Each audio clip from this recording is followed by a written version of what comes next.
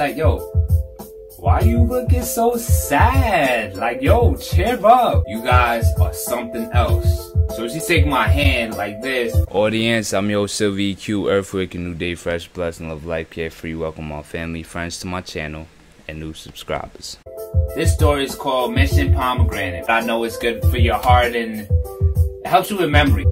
A-Town to go visit my brother Wiz. Wiz, you know what? I think we should go club for your last day. Cause uh, my cousin Blue go to Follies, uh, strip clubs in um, Atlanta. I make a beeline straight to the bar area. My brother Wiz like, what do you want? I'll just take Ciroc, the regular flavor. Now mind you, I'm a light drinker, alright? I'm not a heavyweight.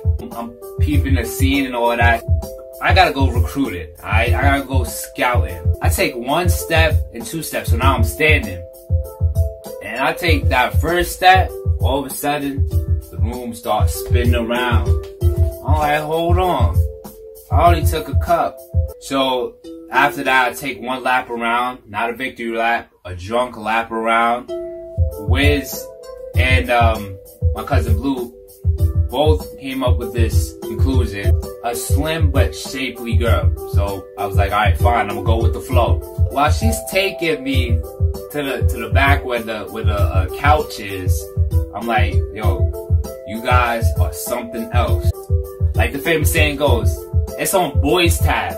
So I'm not paying. I'm just here to have a somewhat I'm here to be introduced to the club scene, alright? I'm not here for a good time. Tangling, by the way, is uh, dancing. She was like, hey, do you want to go bowling with me? Well, bowling is a sport.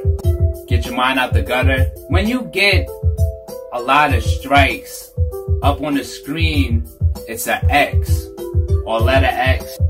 Just don't put too much X's on Google. I'm Like,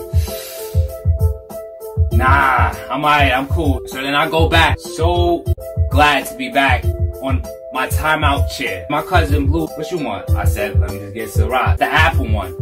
My cousin Blue is like, yo, why you looking so sad? Like, yo, cheer up. I'm in my head, I'm not sad. It's just that I'm not supposed to be drinking like this. Now I'm not drunk, but uh, I'm not sober either. I'm in between.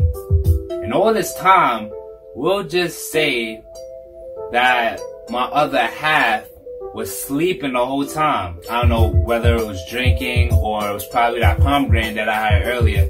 I thought it was health benefits and uh, it ends up letting me down. Since we picked the last one, you gotta go pick the last one. You gotta go pick the next one. I'm like, alright, fine. I'm in my head, this is gonna be the last one. The music comes on and she starts twerking on me. I'm like, man, I'm really letting them down. While I'm, while I was dancing with the last one, we gotta get out of here. It's urgent. What's the rush? We could just stay for another hour. I'm like, no, I don't want to stay for another hour. I want to leave right now. I already got my two lap dances. We go walk out and I never knew that drinking could um say unleash your emotions. So then I'm in my feelings, man. So I, I had to tell him, you know, as a man, you know, straight up, I was like, I just need another chance. If you invite me again, promise that I won't be disappointed like I was doing today. It's like, yo, don't worry about it. They give you reinsurance just like that. It's like a backhand. I don't, I don't even want to do this anymore, man. So then, well, we get in the car and then I go to my next flight and yep, that was about it. I want to thank you guys for watching. It's the BS, the backstory. Walk easy.